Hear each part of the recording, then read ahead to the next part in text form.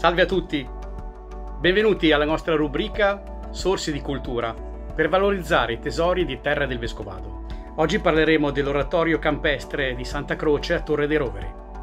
Sulle colline che sovrastano il borgo di Torre dei Roveri, in località Colle dei Pasta, nei pressi della tenuta Frizzoni, su un bel prato con alti cipressi si trova l'oratorio campestre di Santa Croce.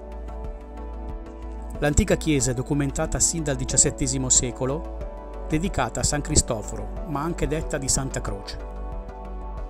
Fu proprietà prima della nobile famiglia Pasta e poi passò ai Frizzoni, proprietari della tenuta vinicola posta poco sotto l'edificio. L'edificio si presenta anticipato da un piccolo portico con colonne in arenaria, pavimento e parapetto in pietra. La semplice facciata ha un portale e finestre quadrate, anch'esse in arenaria.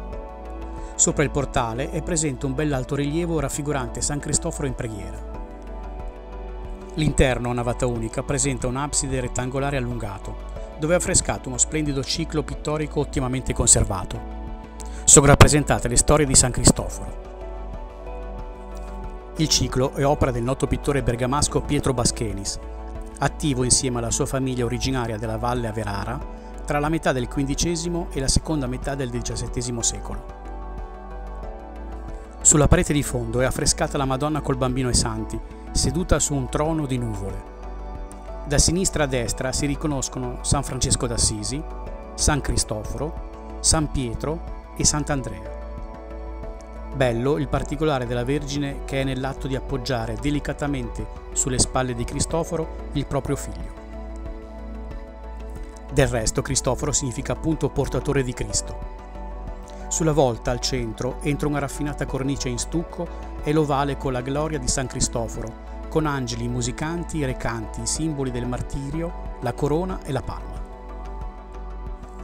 Ai lati, sulla volta, vi sono le storie della vita di San Cristoforo, con le figure di San Nicola, San Carlo Borromeo, Santa Caterina d'Alessandria e Santa Maria Maddalena.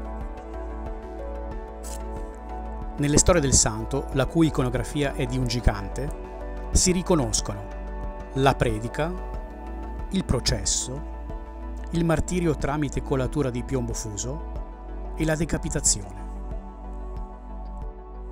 Nel processo in particolare si noti sulla destra la raffigurazione di una finestrella entro cui vi sono San Cristoforo e due donne.